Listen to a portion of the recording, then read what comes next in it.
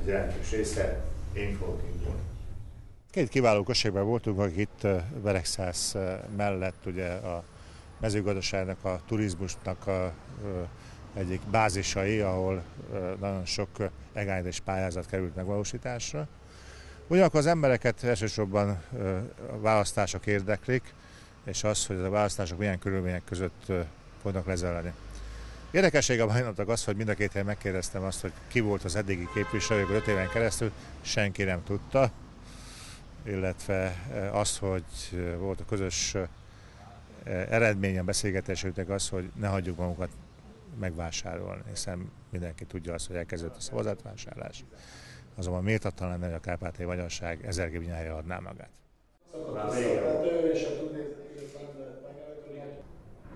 Valójában egy olyan jelölt van, aki a magyarság érdekeit tudja képviselni, és el lehet mondani azt, amit ő az elmúlt öt évben tett, és hát az összehasonlíthatatlan azokkal, amit esetleg más jelöltek 300, 400 vagy akár 500 grivnyáért szeretnének megvásárolni a szavazatot.